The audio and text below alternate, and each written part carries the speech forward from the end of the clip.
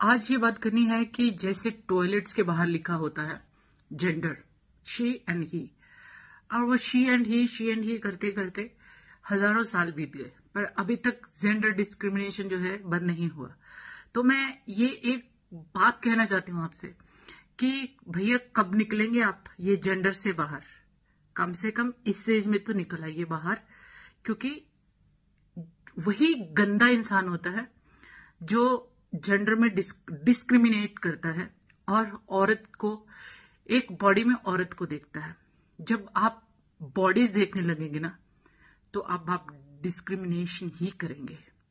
तो अब भैया टाइम आ चुका है, दुनिया जाग चुकी है, औरतों को भी बहुत सारा एहसास हो चुका है।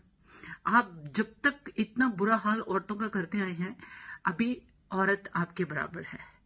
और औरतों को भी सेम ये बात कहती हूँ कि आदमी और औरत बराबर है। अभी इन्हें बॉडी समझना बंद कर दे। क्योंकि अगर आप समाज में रहते हैं तो उसके लिए तो आप शादी करते ही हैं। कब करेंगे हम ये शुरुआत?